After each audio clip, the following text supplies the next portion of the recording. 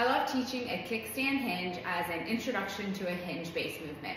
Starting off with, let's say our left foot forward, I'm gonna show two scenarios that might happen in your hinge and a couple quick fixes to address them. With that left foot forward, you notice that your right hip is still pretty high as you go to your hinge.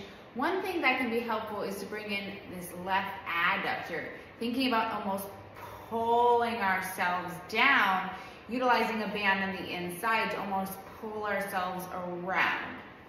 So I can use a band, a foam roller, something to kind of get this adductor on so I can even think about kind of pulling myself with the inner thigh and kind of bringing this inlet into a position of more internal rotation so that I can lengthen through the back of the hip and you feel like you're almost sashaying your left hip out to the side, this might be an indicator that we need some more of this glute to help us maintain that pelvis stability and control. So sometimes when this happens, this knee rolls in. So I like to cue the knee towards the second or third toe while maintaining big toe contact and almost thinking about rooting your pelvis down. So unhiking, staying long, and holding this position, you'll feel this outside glute already, and then thinking about that hinge band on the outside. Watch that that foot doesn't roll out, but maintaining that glute control as you hinge might give you a better spot to length.